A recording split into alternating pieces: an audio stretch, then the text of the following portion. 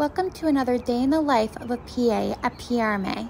Today I'm operating at Landmark Hospital and I start my day by heading upstairs to round on the post-op patients. Good morning. The PAs work closely with your surgeon to make sure all your needs are met while in the hospital.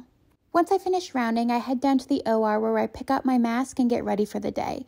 This is always a good opportunity to focus mentally and get ready for your case. Today I'm doing a bilateral DIEP flap with Dr. Gassman and Dr. Chrysopoulo.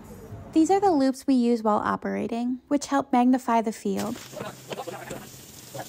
At the scrub sink, I ran into other members of our team, including Dr. DeBerry, who will be doing our mastectomies for our case. We work closely with our breast surgeons each day, and now I head into the case to start.